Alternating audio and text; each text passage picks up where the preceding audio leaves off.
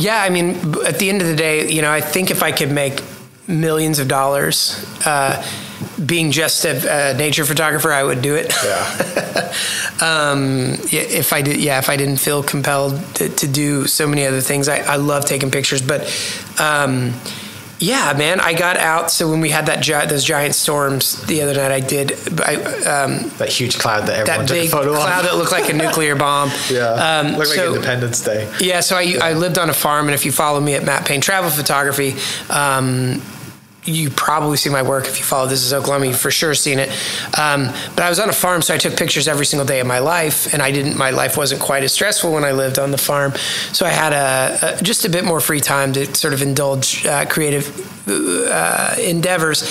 Um, but I moved. We moved to the city, and but I and I I live right down the street from Lake Hefner. And what I've discovered is, if I, if I pay attention to the clouds and I get in my car, I can get to Hefner to take a cool sunset. So I'm always kind of watching the sky uh, and the clouds, Yeah. and um, if there's an opportunity to take a picture. Um, I get out and do it, but man, I miss. I I, I really do miss um, taking photos. It's just such a it's a powerful thing, and uh, you know we live in such a Oklahoma's so it's so much fun to photograph.